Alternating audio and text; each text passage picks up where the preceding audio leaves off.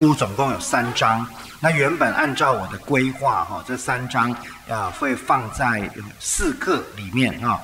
后来我想一想哈，说既然三章，那我们干脆就呃一个礼拜一张哈，然后最后一个礼拜我们来上非利门啊，因为如果不上非利门的话，以后我们可能没有机会啊，因为非利门不可能上十二个礼拜啊，所以呢，我想非利门只有短短二十五节。那我们就会在一次，然后把《菲利门书》啊，它的基本的一些呃呃意义哈，跟大家做一些分享。所以我们九十。十一、十二，总共四课哈。那这四课我们就来研究提多书跟菲利门书哈。那关于提多书的一个简介，我们在第一课已经有讲过哈。那所以请我们去翻开我们第一课的讲义，我们在此哈就不多做叙述哈。那么啊，这是保罗写给提多的一封信哈。那这封信非常非常的特别，应该可以说是保罗在所有书。信里面最特别的地方，那为什么呢？因为你一开始吼，你会发现保罗的自我介绍。一开始的自我介绍就读不完，你知道吗？他其他的地方就是做上帝的仆人，耶稣基督的使徒，然后呢，保罗，然后写信给谁哈？可是你一看提多书的时候，我们就会发现，光是他的自我介绍，哎，好像就写不完啊！在我去看希腊文的原文哈，要翻译很难翻译，而能够翻成。呃，英文跟中文哈，哇，这个是非常的厉害，才有办法这样做哈。因为它是一连串的，好像没有逗点，没有句点，那一串这样串下来，然后呢，就就做了他的自我介绍。好，我想我们现在先来看提多书的第一章一到四节啊，我们把他的自我介绍讲完之后，接下来再来看他书信的内容哦。一到四节，我们一起来念来。神的仆人，耶稣基督的使徒保罗，凭着神选民的信心与敬虔真理的知识，盼望那无谎言的神在万古之先所应许的永生，到了日期，借着传扬的功夫，把他的道显明了。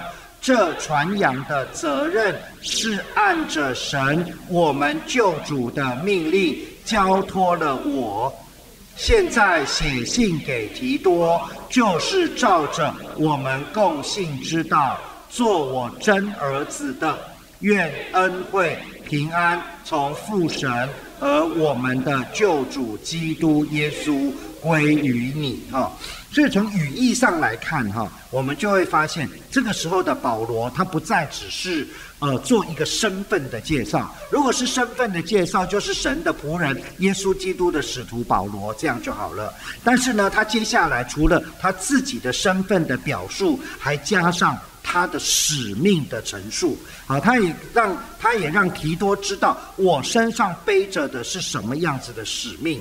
啊，然后这样这个使命呢，今天这个传福音的使命啊，是我们的救主托付了我，照他的命令托付了我，我现在写信给提多，写信给你，哈，那么意思就是说，这个责任啊，之前啊，这位上帝在基督里托付给我，而我可能来日，所以我现在要托付到你的身上，啊，所以呢，提多是保罗很重要的后辈。提摩太也是啊，如果按照时间序来看，应该是提摩提多是师兄，提摩太是师弟啊，是师弟，因为他没有讲到提多很年轻，他有讲到提摩太很年轻啊，所以呢，提多应该是在保罗的很早期的布道里面就已经跟跟在保罗身边哦。等一下，我会稍微介绍一下提多哈。好，那么一开始就告诉我们说。上帝的仆人耶稣基督的使徒保罗，所以呢，在这边首先他是描写他是至高主的奴隶，仆人就是奴隶的意思啊，servant 或者是奴隶。当我们谈到仆人或者是奴隶，那就表示他完全没有自由，没有自由的人，他就必须以他所侍奉的对象为他意志的源头，就是他必须以他的主人的意志。为自我的意志，而他的人生只有一个使命，就是完成主人的意志。啊，就是这么的简单啊，这么的简单。所以这种人其实是非常单纯的啊，就像呃，我现在在美国呃那个社工是当老师嘛哈，那呃我我教的那个班，那个班很特别啊，那个班哈有两个学生两年来穿的衣服都一样。都没有改变，也就他们每一个礼拜来上课，他们每一天来上课，就是每个礼拜四晚上，每个礼拜五晚上，每个礼拜六早上、下午啊，我们有一个班啊，进修部啊，他是用礼拜四晚上上课，礼拜五晚上上课，礼拜六早上、下午上课啊，那那个这样读两年就可以拿到一个学位，所以很多人来读第二个学，又增加社会工作的知识啊，的还有个社会工作的专业。好，那么这两个学生很特别，因为他们这两年来，他们六月就要毕业了，啊，再过一个月就要毕业了。他们每一个每一个礼拜，礼拜四、礼拜五、礼拜六穿的是同样的衣服。为什么？因为一个叫修女，一个叫法师，啊，一个是佛光山的法师，啊，一个是啊天主教的修女，没有？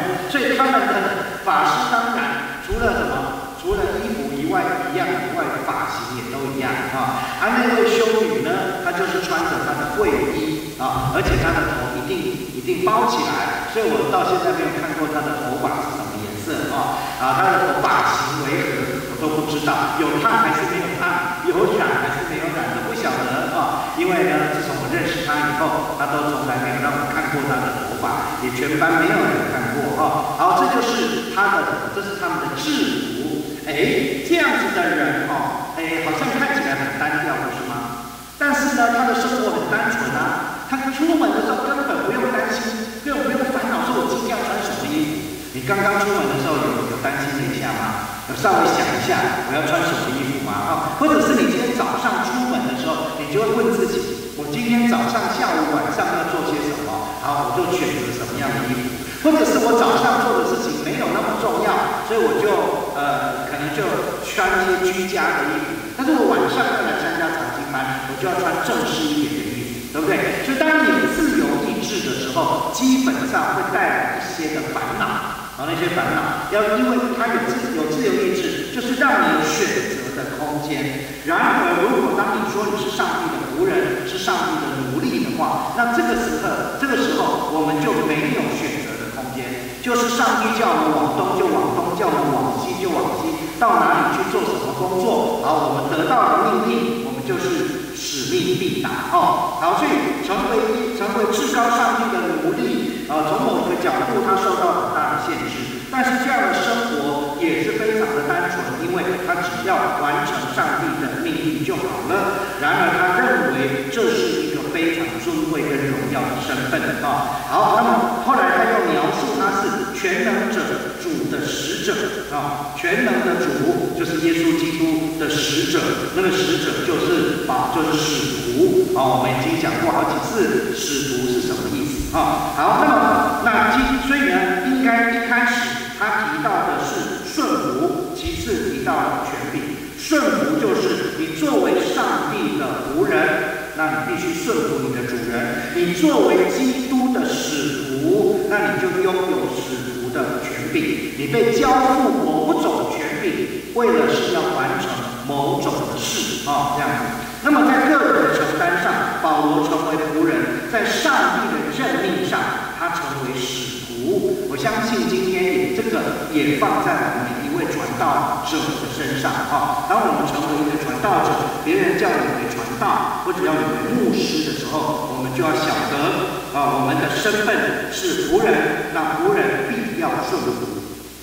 我们另外一个是使徒，因此我们也拥有某些权柄。而有权柄的人要非常小心，他必须善于利用权柄，而不是任意的利用。哈，善于利用跟任任意利用会有天壤之别。啊，善于利用权柄话，那么接接下来可以照管上帝的家，任意使用，到最后高抬自我，结果最后就惹祸上身啊！好，一开始保罗说出他的身份，以及说出他的权柄，接下来呢，就说凭着上帝选民的信心 跟敬虔真理的知识啊，那吕正中译本把这句话翻译为说。呃，我这个是为了叫上帝拣选的人相信，并认识近前之事的真理啊。那那所以呢，这个地方这个吕振东呃一一本他是讲说，我作为上帝的仆人，我作为耶稣基督的使徒，是为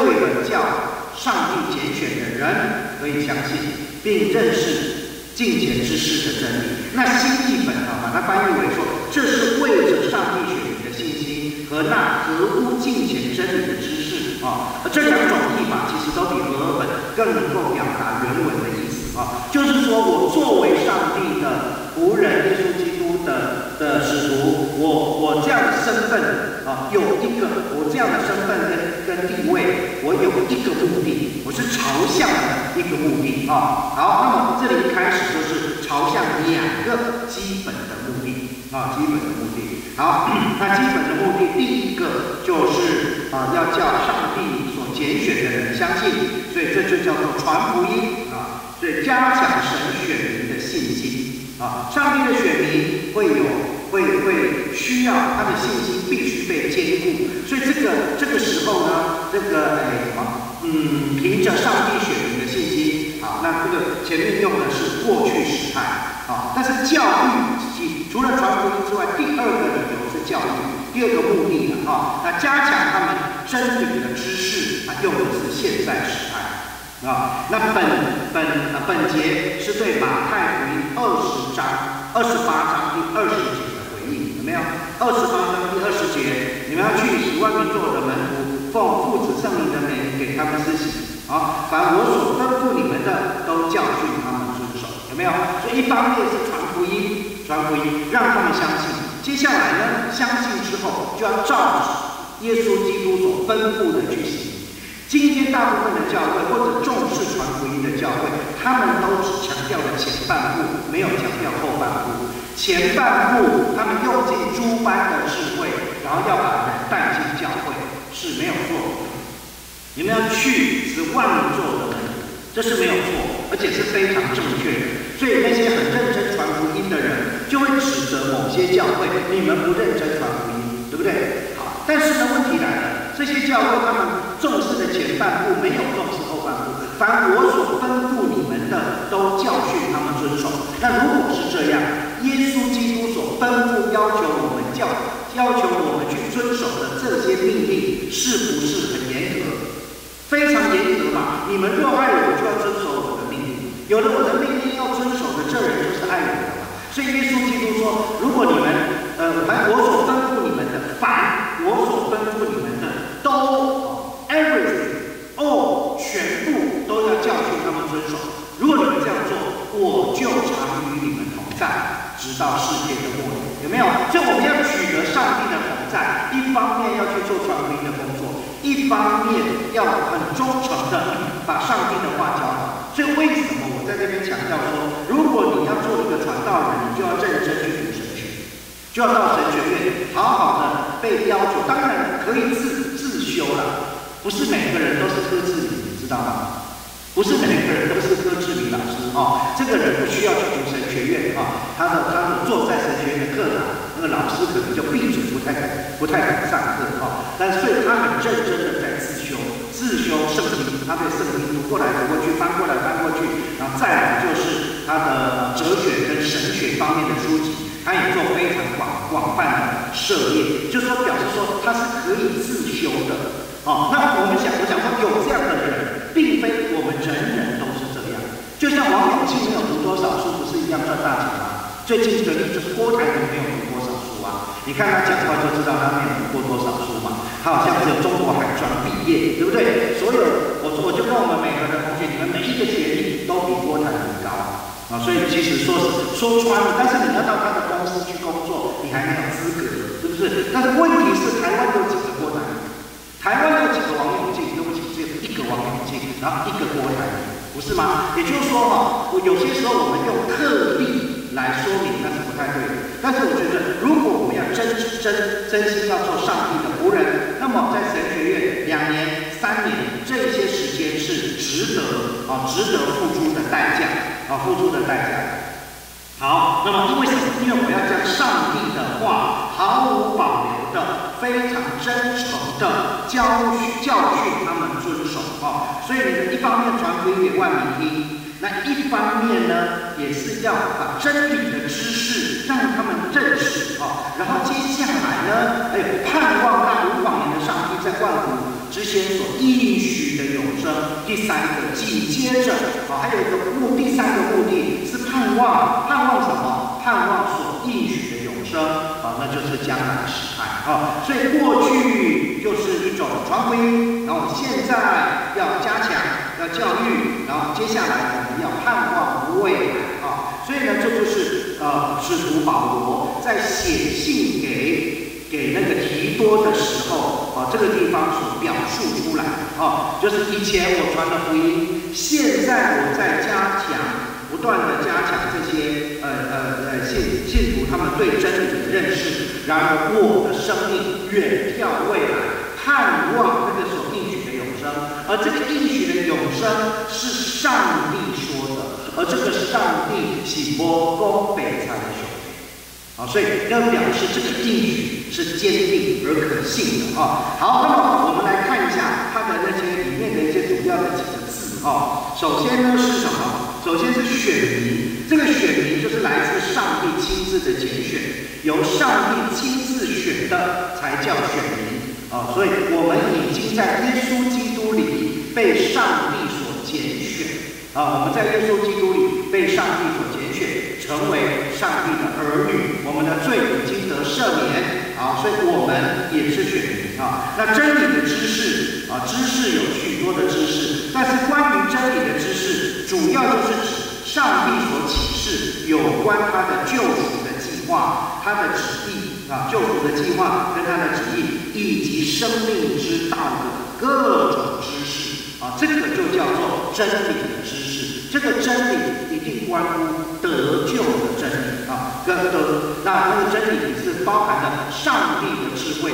彰显在他的救赎计划之中啊。那保罗呢也曾经说，这样的这样子的一个一件事实是以前所隐藏的，然后到后来才让他知道。于是他的任务就是把特这个特殊的启示，然后在这个时代把它发扬出来，让所有的人都晓得。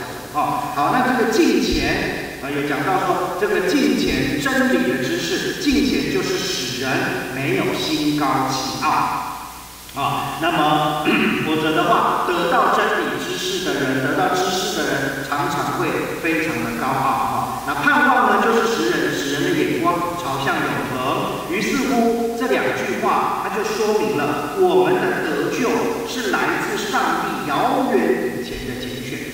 啊，在在还没有创造世界以前，有没有啊？然后呢，上帝就爱我们，就拣选我啊。所以我说，怎么可能我们就还没出生？对不起，在上帝啊，我我这位上帝完全不受时间的限制，而我们是在时空之下的有限的存有者，而上帝超越时空，所以对上帝，我们才有。过去、现在、未来，对上帝而言，没有过去，没有现在，没有未来。啊，对上帝的的而言，就是永恒啊，永恒。而对我们有限的人而言，有过去，有现在，有未来。啊，好，那么我们的得救来自遥远以前的拣选，如今得到了关于得救的真理，我们可以盼望将来的永生。而这个永生是万古之前所应许的啊，那这个万古那是谁应许的呢？是这个不说谎、无谎言的上帝。也就是说，保罗特别强调，给我们的应许的这一位上帝是不说谎的，所以呢，他的应许必然实现啊，这个很重要。而我们会不会说谎？我们是会说谎的。啊，我们我们常常说谎啊！如果人不说谎，那就没有人离婚，没有在离在婚姻的这的祭坛上面啊，在婚姻的祭坛上面，常常提到了什么？常常常常提到说，你是不是爱他？等等等等，呃，在他无论生病，无论呃富贵，无论贫穷，无论什么，你都要一生的爱他，有没有？那一定美国人就 I do I do I do，怎么样？那我们就发现有一个明星叫汤姆克鲁斯，啊，他已经结三次婚又离三次婚了，不知道会不会再结第四次？我就发现汤姆克鲁斯的 I do 很廉价，啊，而且他的 I 每次的 I do 呢，有效期限都不长，有没有？对，其实这就是这就是人哈，所以呢，我家里有一本书哦，叫做什么？婚礼祭坛上的谎言，啊，婚礼祭坛上的谎，婚姻祭坛上的谎言，也就是说，我们在婚姻如此神圣的的什么？神圣的祭坛上面，哎，我们我们竟然说谎，对，说谎。那事实上呢，他其实那本书是告诉我们说，呃，我们的我们要 keep my word，要抓住我的我的应许。我要 follow my promise，我要追随我的我所我所承诺的，是非常困难，非常困难。所以我们必须在这件事上看见我们自己的软弱。好像我早上在莫恩之家，呃，莫恩之家上课，我就跟告诉他们说，一个人得救哈，啊，从呃要认罪，要悔改，还要那悔改，就是我们在在什么，在那个知呃理智上知道我们过去是错的。哦，知道是过去是错的，然后在情感上，我们为过去的错而感到懊悔，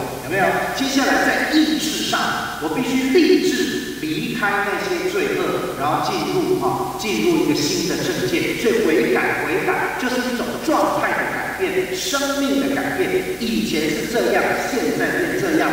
我就说，来，那你们呢？你们觉得你们做得到吗？我说立志要改变，告诉你全世界你们是专家，对不对？那些喝酒，每次喝都最后一杯，每次要吸的时候说这是最后一口，每次要吃的时候这是这是最后最后，每次都最后来打针的一次，这是最后一支针，哎，一定都是他们都立志，我以后再也不要再也不要，所以我就说你们以前所立志发誓的话，全部都屁话，对不对？啊，打个电话，打打个电话，求他，所以其实这为什么？因为你们你们的罪，你仍然被罪所捆绑，你所有的承诺之语都是谎言，都没有用。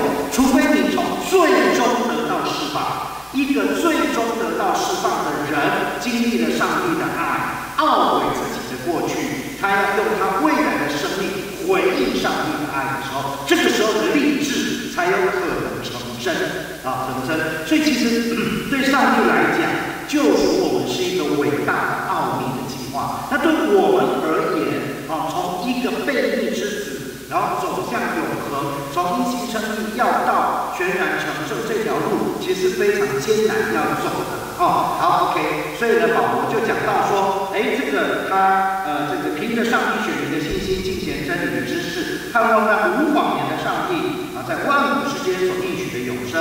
好，然后呢，到了日期，借着传扬的功夫，把他的道显明了。好，那到了日期，就是指在合宜的时候啊，在合宜的时候，上帝计划中一切的大事都会在他所命定的时候。发生，极致时候满足，神差他的儿子降世，有没有？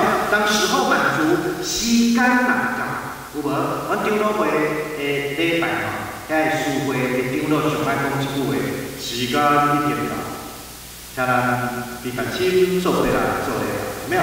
啊，长老只是时间一定到，时间已经到了，我们预备心来做礼拜，对不对？啊但是我到一些教会去，上场的第一句话就说：时间已经到，唔过人还没到。为什么？时时间到的时候，来的人还，不是吗？来的人还很少啊，时间已经到。我们这里的空间比较大，所以我们能够做的比较多。那在之前那边空间好像比较小哈，所以因为比较小，大家要抢位置，要抢位置就比较早。啊，现在不用抢位置。那就会比较晚啊。好，不过呢，来就是吸干一点搞，那我们要具备新的。但是呢，我就上来跟他们讲的第一句话，刚才思慧讲吸干一点搞，但是我说没有，你是难阿得搞啊，人还没有到，所以后来像就有些教会，当时候哦，哎，他们没有牧师啊，像每个月请我去讲一次啊，我第一次就给他们下马威啊。那后来呢，他们后来到第二次，哎，我，回去就发现不得了，哦，大家都到，有没有？大家都到，哇，人很，然后我上台就称赞他，哇，今后今天大家都没有都没有呃迟到等等等等。后来他们一个长老，上个礼拜有特别报告说下礼拜是你要来讲道，说这个礼拜是你要来讲道，大家就平放今天，像老雷板刘金钱牧师没来，所以请你们啊下礼拜千万不要迟到，所以哈。所以我觉得人性还是诡诈，知道吗？人性还是哦卑贱的哈，就是特别是某个牧师要来，你才准时来做礼拜。啊，如果不是这个牧师，可能大家又三三不起啊。好，这就是人性啊。不过呢，我们要知道一件事：日期不是我们决定的，是上帝所决定的。当然，我们要去见上帝的日期，不是我们决定的哈。好，不过这里讲到的日期，就是就是时候到了，上帝差他的儿子来。那在他之之前所命令的一切都会发生哈。好，那就借着传讲的功夫，指上帝的仆人所做的传道事工，他的就是指上帝的话语，现在指的就是圣经。而耶稣基督正是传道之人，他也是道的本体啊。那这位主将道显明，并且吩咐人去传扬他的道，也就是说，借着传扬的功夫，把他的道显明。了，这个道显明了，有两个意思，一个是耶稣基督作为道所成的肉身，然后就就什么，就来到这个世界，来到世界要宣告说，呃，时候到了，然后呢，神的国近了，你们要悔改信福音。然后另外一方面的意思呢，把他传扬的功夫，把他的道显明了，就是他找到了一些人，然后吩咐这些人去把这个道传扬出去啊，传扬出去。所以呢，这里我们就看到耶稣基督他是传道之人，道的本体啊。好，那这个传扬的责任是按着上帝我们救主的命令交托了我啊，上帝我们的救主，指上帝就是我们的救主。他就是我们的我们救恩的源头啊！命令交托意意指传福音不是自愿的工作，不是人要为上帝做什么，乃是上帝将责任托付给了我啊！对，所以请记住，不是我们想要做什么哎哦，我能够为主做这个做那个，主啊，我我我我呃，我在这里请差遣我啊，我你你在这里请。请差遣我，他就要差遣吗？不一定啊，不一定晚上挂那不告单啊。但是他就拣选了一些人，把那个把那个道托付给他。那保罗说，我就我就是上帝所拣选的人，而在他的命令中，哈，他把这个传扬的责任交给我了，啊，交给我了，是上帝把责任托给我。所以在这里说前书九章就讲到说，我传福音原没有可。夸的，因为我是不得已的。我若若不传福音，我便有过了。我若不甘心做这事，就有赏赐；若不甘心，责任却已经托付我了。有没有有有没有点三生无奈的感觉？对不对？他只是要告诉你说，其实他说我现在被上帝所捆绑，我被上帝的福音所捆绑，也就是我的人生就剩下这件事，我的人生就是完全。要为了这件事而燃烧我的生命啊！那所以他说：“我若甘心做，就有赏赐；若不甘心，责任却已经托付我了。”这种亲像细汉时，我我我妈妈叫我洗碗，我洗啊变变变啊，然后就被他讲啊，欢喜甘愿洗，唔甘愿就洗啊！你若弄我再洗啊，就是这样啊，就是你欢喜快乐，你也是得洗碗啊。啊，你不甘愿，心不甘情不愿也得洗啊！不小心你打破，那就惨，对不对？所以还是乖乖的，不要发怨，就好，规规规矩矩的洗啊。或保罗只是要强调说，我作为上帝的仆人，我被上帝所拣选，然后我要做这件事啊。好，在这里啊，我们就看到保罗的自我介绍有一点复杂哦。啊，为什么？然后他说我是上帝的仆人。我是耶稣基督的使徒，还有我从救主上帝那里领受的一个命令，就是传扬上帝的道啊！啊，再来，我传道是为了要增进选民的信心。也是要使他们得到金钱的知识，更是要取得永生的盼望啊！所以我们就把它归纳整理成这样啊。那这样子大概对于第一节啊保罗的自我介绍的部分，我们就比较没有啊就能够了解。然后他这封信要写给谁？写给提多有没有？啊，他写给提多说，啊，这是照着我们共性之道做我真儿子的啊。好，那么这个提多，他和提摩太同样是保罗的得力助手啊，同样被保罗称为属灵的真儿子啊。那么提多是希腊人，那保呃那个提摩太是他爸爸是希腊人，有没有？然后他的妈妈是啊是以色列人，所以呢，这个提摩太是混血，而提多他是完整的，他就是一个希腊人啊。好，那保罗跟巴拿巴。曾经把他带到耶路撒冷去啊，所以呢，在那个使徒行传十五章耶路撒冷大会的时候，我们只知道保罗有带一个外邦人去，但是呢，我们不知道是谁。可是到了什么？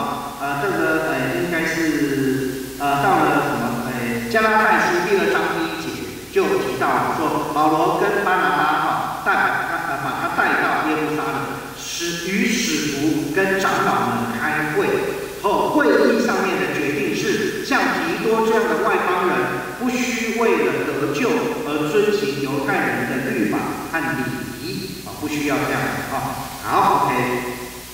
那么再来，那圣经中提到提多的名字共达十五次之多，其中哥林多后书便占了十次，似乎显示啊，提多跟哥林多教会有比较深切的关系。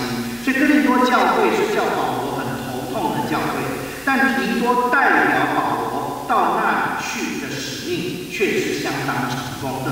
好，所以我们可以看《约伯太后书》的呃第七章跟第八章哈都有叙述哈。还有《约伯太后书》二章十二到十也有这样讲说：我从前为基督的福音到了克罗亚，主也给我开了门。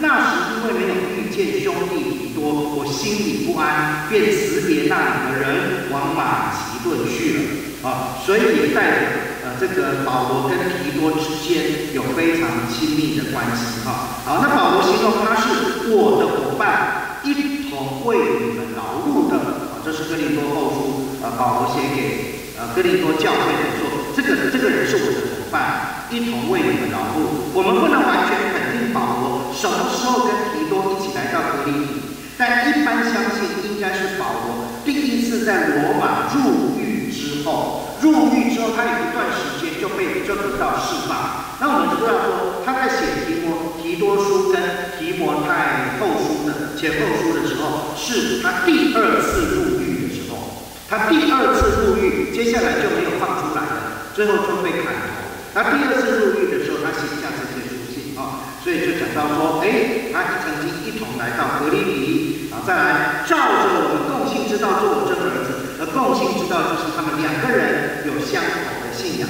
而真儿子就是属灵的儿子，是借着福音所生的。可见呢，保罗跟提多之间，他的感情很深厚，而且呢，呃，有很亲密的情感哈。好，那么依照时间序来说，提多就应该是提摩太的前辈，神拜哈，就是他的师兄了哈。然后愿恩惠平安从祝上帝，我们的救主基督耶稣归于你，在经文里。恩惠就是生命和侍奉所需要的属上帝的力量。恩惠，恩典，grace and peace，对不对？那 grace 呢，就是我们归得而得，或者是原本不属我们，如今赐给。这个叫做恩惠啊。然后这个不是我们自己来的，是从上帝那里来的。而平安是不管环境多么的险恶，我们心中都能够从。焦虑、惊慌跟沮丧中得到自由，也就是我们的平安不受环境所影响啊，超非常有趣的书。而来的焦虑啊、惊慌跟沮丧啊，所以这就是平安。而这样子的平安不是我们自己的，也是从上帝那边来的啊，也从上帝那边来的。因为呢，我们一般凡夫俗子的平安是看看口袋里多少钱。有没有钱越多，他可能越平安；工作越安稳，他可能觉得越平安啊。但是呢，事实上并不是。我们他这边讲到的这个呃恩惠跟平安，的确是超越环境的平安。还有原本不属我们却能够得到的恩惠，都是从父上帝和我们救主耶稣基督来的。所以圣父跟圣子的相连，就成为恩惠跟平安的源头啊。好，那接下来呢，我们就从呃那个第五节啊读到第六节啊，第五节读到第六节来。我从前留你在隔离里，是要将你。没有办完的事都办整齐了，又照我所吩咐你的，在各城设立长老。若有无可指责的人，只做一个妇人的丈夫，儿女也是信主的，没有人告他们是放荡、不服约束的，就可以设立。啊，OK，好，那我们就可以看到了啊。看到他这边要设立什么，要设立展览啊。好，我从前留你在隔离里啊，也就是，所以这句话就表示保罗在隔离里曾经做过传福音的工作而。这个隔离里呢，如果你现在看地图，叫做克里特岛啊。也许我们以前学西洋史。哦，有学过哈，哎，这个克里特岛啊，在地中海那边的一个岛啊。刘礼在格里里做过传福音的工作，虽然呃呃那个什么《使徒行传》二十七章一到十三节啊，曾经提过保罗被押解往罗马的时候啊，曾经来过格里里啊，就船停在那里，在那个地方有上岸啊。那不过呢，保罗显然不可能在那个岛上自由的。传道建立教会，所以到底什么时候去到了格里里啊？呃，这个就有一些争论啊。因此这里说把提多留在格里里，必然不是那一次的事，而是保罗在第一次在罗马被囚得释放以后，到了格里里传道。好，所以当他离开的时候，就把提多留下来，好让他把没有办完的事都办成。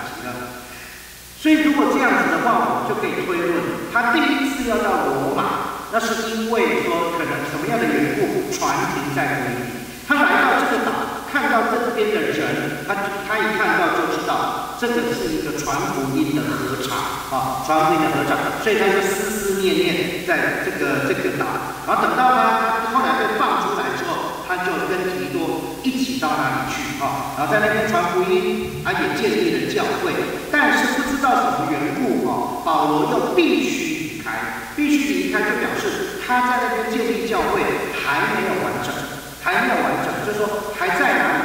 还在那个可能刚建立，那这群人来了，有了一群人，但还没有建立组织啊。组织就是要有长老，要有执事啊，所以他就把提多留下来，好让他把那没有办完的事都办整齐了啊。好。那么，所以他就什么？他就这个呃，这个这这件事啊，保罗在信上啊有提出了啊，好要照我吩咐你的，在各城设立长老。那这句话非常明确的表明，当保罗离开格林时候，格里里岛上已经有某些地区的教会啊，有已经有的教会，但是还没有组织妥善。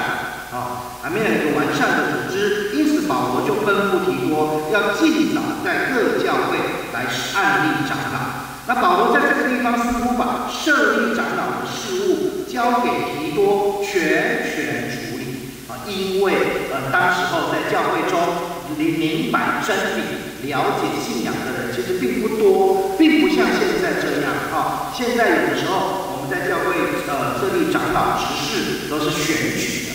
啊，或者是呃有一群啊一群呃可能是呃我们共推出来的教会的领袖，一群人来决定执事为何。所以有些制度上呃可能长老只要被按立做长老，那么他就有权啊这几个长老来决定教会的执事由谁来担任啊。那但是呢，像我们长老会就没有毫无毫无悬念啊，长老也是用选的，那执事。也是用选的。不过当时候保罗叫提多来设立长老，案例长老，就是给他全权处理哦。啊，然而按照呃，大概是因为当时候的教会很不成熟，啊，没有办法有信徒公推或选举，必须由提多自行挑选。所以呢，这个人可不可以有私心？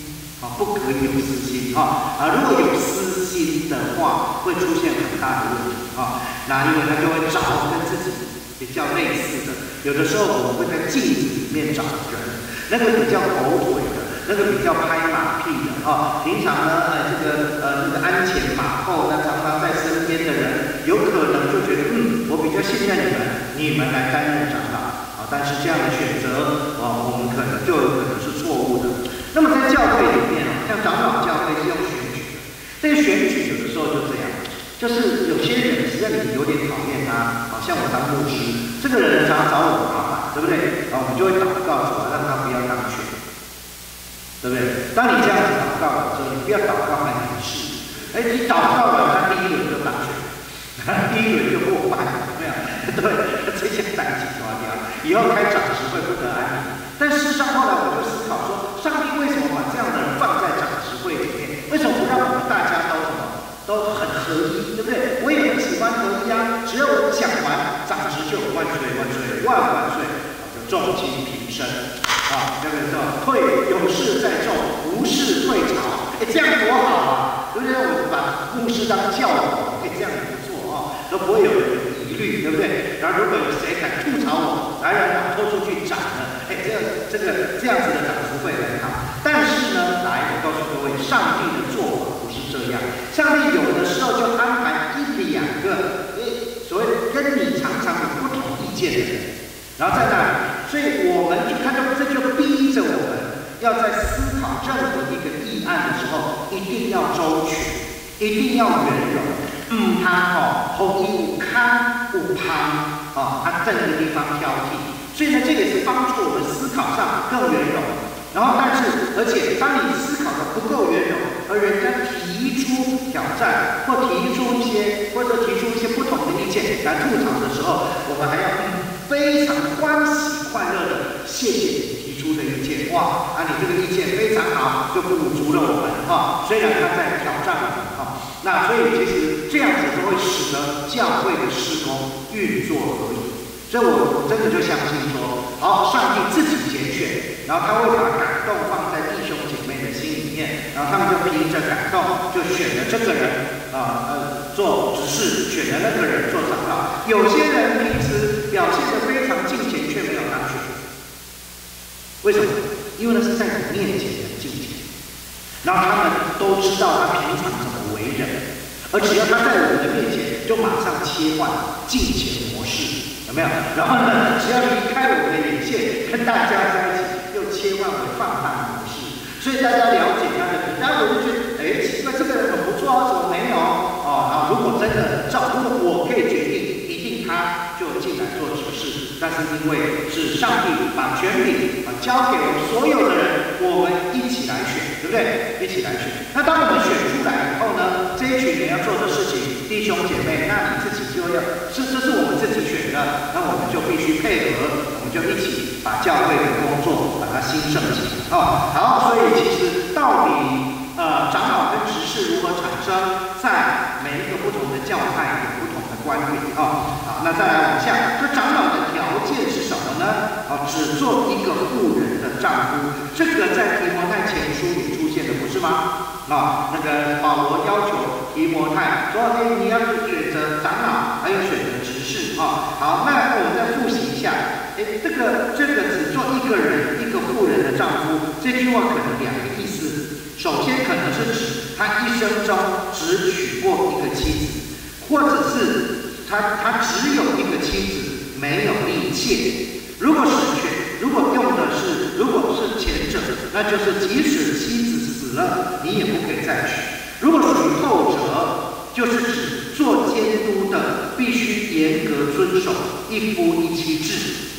啊，这是上帝从起初创设婚姻制度的时候所定的旨意。啊，我想这是这个这样的解释。是比较合理的啊，就是说他是遵守一夫一妻制的，所以呢，他除了妻子之外，在外面没有其他人啊，这样子作为长老。其实第二，儿女也是信主的，没有人告他们是放荡、不服约束的啊。这一点基本上也跟提摩太前书第三章第四节啊的条件相同，只是措辞有一点不至于放荡一词的希腊文，跟路加福音十五章十三节哈那个浪子回头的比喻里面说到那个浪子哈任意放荡、浪费资财，那个说法是一致的啊。不服约束，则是指说他这个不服约束就是顺服的反面，就这个孩子，他的孩子必须能够顺服，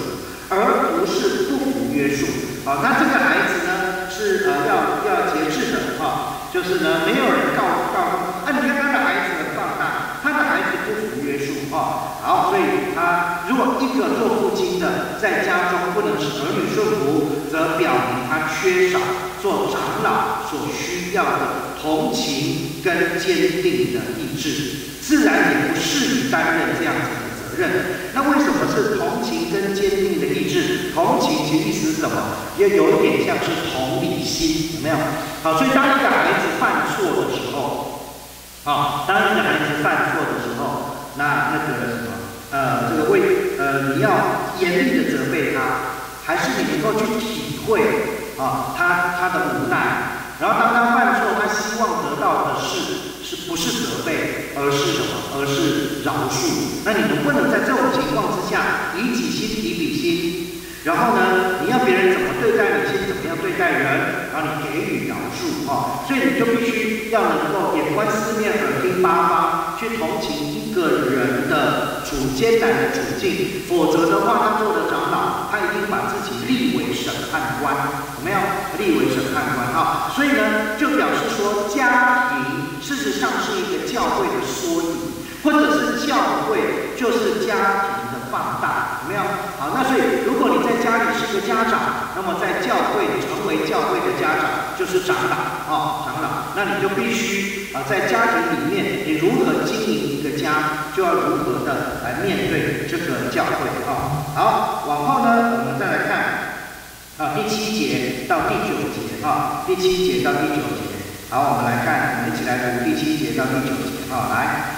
监督既是神的管家，必须无可指责，不任性，不暴躁，不因酒滋事，不打人，不贪无义之财，乐以接待远人，好善，庄重，公平，圣洁自持，坚守所教真实的道理，就能将纯正的教训劝化人。又能把争辩的人驳倒了。OK，好，那我们继续往下看，又列了一系列的什么？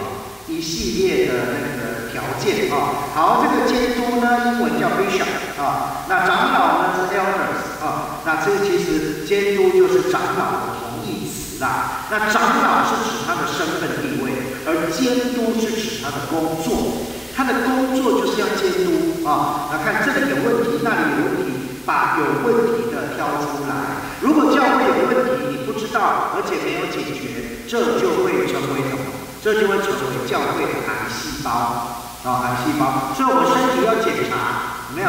检查之后呢，再就来知道说，哦，那你身体有没有问题啊？那要去检查。像我前一阵子就做了一啊，啊，检查之后，哎，出来啊，哎。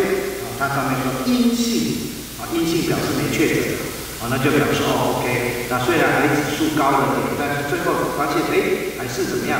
我最后是阴性，啊，好，那就表示这方面这个部分没有问题。当然，这个部分没有问题，并不表示其他地方没有问题，哦，好，那检查出来就知道，啊，是结果如何？那这个监督也是这样，啊，监督要要真的是眼观四面，耳听八方，看着教会里里。外外，还有看着信徒在教会之中跟教会之外啊，不仅是在教会的生活，还有在家庭的生活如何啊？所以，所以他的长老们的工作性质是做上帝的管家，管理上帝的家啊，管理教会啊。那这个意思是什么呢？来，请记住，管家不是东家啊，东家就是他是哎，他是主。他是主人啊，对不对？所以我们只是受托代理者，哎，管家不可以利用职权求自己的好处，也不当浪费主人的财物，因为准备向主人交账。啊，还有管家应该忠心而有见识，按时候分粮食。啊，来，还有管家应该通晓神的奥秘事，不怕人的论断，也不去论断人。所以呢，在路加福音、在马太福音、在哥林多前书，我们都找出了管家的跟管家有关的他的一些条件，以及他所要做的工作。好，那你既然要做上帝的管家，你懂爱谁呀？为什么呢？因为呢，所有人的眼睛怎么样，都会盯在你身上看。有没有？事实上，事实上，牧师就是就是长老，牧师就是长老。哦，所以我们在长老教会的体系里面，当你案例牧师的时候，就是案例他做长老。但是他跟一般的长老不一样，他是属于教导的长老，而其他的是治理的长老。那这位牧师呢，他是全职的长老，而其他的长老是代职的长老。啊，这是不同的啊。所以呢，是长，长老要就任，要被案例；牧师要就任，一样要被案例。啊，所以呃，适不适合年轻、非常年轻就案例做牧师？像我们台湾台湾神学院、台南神学院哦，啊，其实有一些我我认为过去到现在一直都有这样的问题啊，就是很多学学生大学嘛，毕业二十二岁，对不对？啊，那那个当兵啊，男生当兵的话，四个月，那女生要不要当兵？不用了啊。像台湾神学院的院长啊，他就是我的同班同学，啊，他就是大学毕业二十二岁就进到神学院，然后读读读读到二十五岁他就毕业了，啊，他是二十五岁就毕业，然后再下来来到教会做传道。两年之后跟我一样，我是两年之后按牧，他两年之后就按牧，所以他二十七岁就按牧。那一按牧之后，当然就他其实很特别，是没有在教会入会，他就到美国去读书了，一直读读读读读，读到拿到博士学位之后，然后就回，然后就回到学校来教书，有没有？啊，所以他的牧会只有在那个传道那里。好了，那么当然学校有师资的培育的计划，所以就如此。但事实上，如果说今天你二十五岁就做传道，二十七岁就做牧师的时候，他其实可以说这个人完全没有社会的经验啊。所以呢，陶姐哈，一个创业带两个啊，因为他会面对很多艰难的状况啊。那那个华省，华省大概就不会有这种情况。你刚毕业，他不会让你进来读。他要让你在外面有一些的社会经验，要有几年的工作经验，然后再进来读。有没有是各是各样的？呃，到底哪一种比较好？Nobody knows，啊，没有人知道。不过呢，我们可以想象，三十二三十年前、三四十年前，大学毕业的大学毕业生跟现在的大学毕业生有没有差？差很多啊，真的是差很多哈。以前的大学毕业生二十二岁，可能他的成熟度是现在的还现在学生的二十五六岁。可是现在的大学刚毕业，看起来怎么样？就像高中毕业而已啊！他的成熟度，而且他每天都在玩 game，你知道吗？他们每天都在玩 game，啊都在 Facebook，都在 Instagram，啊，都在那边来来去去。所以呢，他们能够认真呃求学、认真思索的人。不多了，所以你可以看到很多现在呃男神男神的学生哈，哎，到处学生往来那请家长，啊，那请家长哈，啊，可是呢，可是那个圣光就比较不一样啊，圣光的学生曾经有一段有一度圣光的学生，奇怪，我进到课堂上好像进入松年团契，好像进入松年团契，因为有一堆哈，哎，退休然后来的，特别是军人退休。有时候军人一退休才四五十岁，然后他们就进来哈。对我们，我们我那时候曾经教过一班好几个，都叫做准将军啊，可能都是中校啊、少校啊，中校好像退下来了。哎，他们都很敬钱，然后来学来学校来深入。他们年纪都不大啊，不大，但是他们都说退休、退休、退休、退休。啊，当然也有一些是提早退休，呃，六十岁左右退下来来读的啊。好，那么我觉得奇怪呢，我在台省看到都。是二十多岁的吉家长，他来到圣光看到的都有点年纪哈。那这几年教就看到有比较年轻的啊，圣光神学有些未婚的啦，二十多岁、三十多那事实上成熟度与否哦，跟年龄不一定有密切的相关哈。但是你要作为一个监督、做一个长老，要拥有好的社会经验是必须要的哈。首先就是要无可指责，而这个无可指责的意思是什么？啊，就就是你在言语行为上面要极为严谨，你在处事态度上要谨慎，要圆融，要面面俱到。其实你要求一个二十多岁的年轻人做到这件事很难。当有人在纷争的时候，你也当你手压根。啊，等两边在争执争执的时候，你可以来到这边讲讲话，来到那边讲讲话，然后成为 peacemaker，成为使人和睦的人。这种呢，一方面你要去劝架，你要去劝勉，你要不告党，怎么样？不告党哦。所以呢，其实我较，我我个人还是比较反对，因为耶稣三十岁才出来传道，那如果三十岁以前就出来了，哦，你搞哦。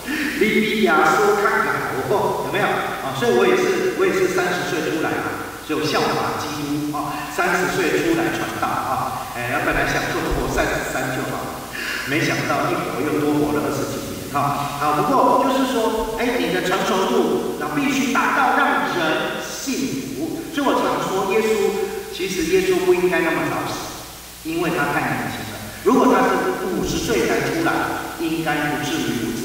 因为他三十岁就出来了，在当时候可以出来的年纪，他就出来，然后就使得他就卷卷起千堆雪啊，而他的话语呢，又像两刃的利剑，刺透人的心肠肺腑，所以安地里就得罪了非常多的人，最后终于把他送上了十字架啊。好，所以监督必须无可指责，无可指责就是没有什么可以让人家诟病的。没有什么可以捉拿的，哈，OK，好，那我们先到这里，啊，这样这里，那无可指责再延续下去，不任性、不暴躁，啊，不饮酒滋事等等，我们下一节课再来跟大家分享，啊，好。